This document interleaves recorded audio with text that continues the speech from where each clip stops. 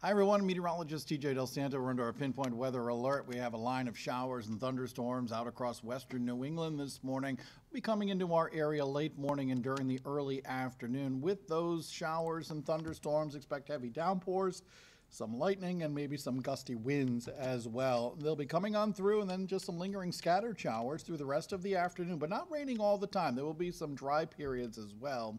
For tonight, more showers expected, maybe another thunderstorm, 8 o'clock tomorrow morning. Still some scattered showers around. Still looking at the chance for showers, maybe a thunderstorm again during the daytime tomorrow. So, forecast for today expect scattered showers, again, maybe a thunderstorm. Temperatures topping out around 71 degrees.